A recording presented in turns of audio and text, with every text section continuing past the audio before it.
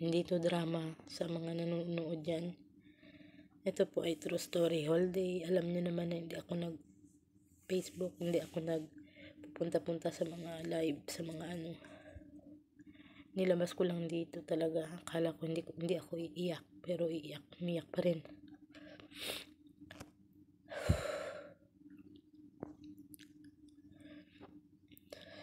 Sa mga katim ko, Team Prem 101, Premier 101, thank you so much sa suporta ninyo.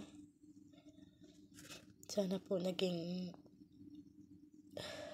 sige, sana po mag, mapatuloy ko tong vlogs ko. Kaso parang hindi ko ata kaya. Try ko lang sa pag-uwi ko ng Pilipinas. Sa ngayon po baka last ko na to na video na i-upload.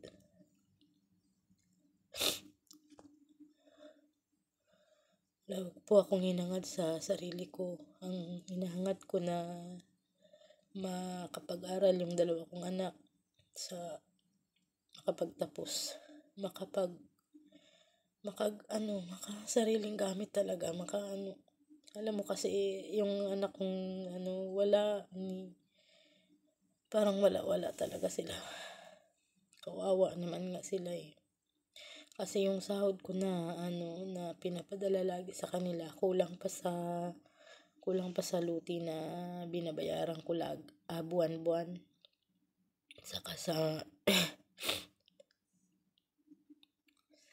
saka sa kanila pagkain nila halos nga damit parang hindi, hindi na sila makabili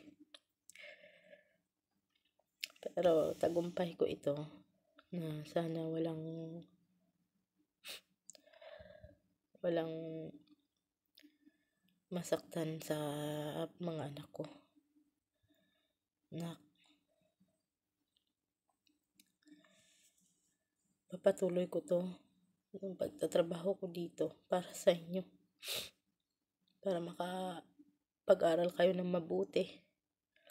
Matulungan nyo si mama na ano, sana pasensya na kayo kasi minsan kung ano na lang lumalabas sa bunganga ko dahil yan sa pagmamahal ko sa tatay ninyo.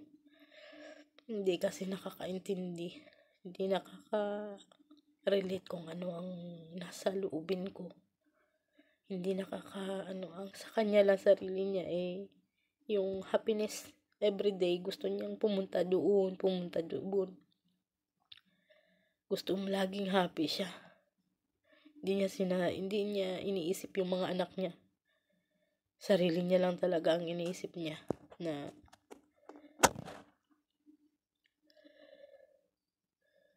wala siyang pakialam sa anak niya. Eh. Kayong may pakialam yan. Everyday yan. Kung alam niya kung anong ginagawa. Kung ano ang ginagawa ng mga anak niya. Ang iniisip niya, sugal, inom, babae, yan nasa kanya lahat, lahat. Kung napanood mo ito, kung mapanood mo man, masasabi ko lang sa'yo, good luck.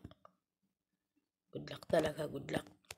Kaya kayong mga OFW dyan, tanggapin nyo kung anong meron kayo.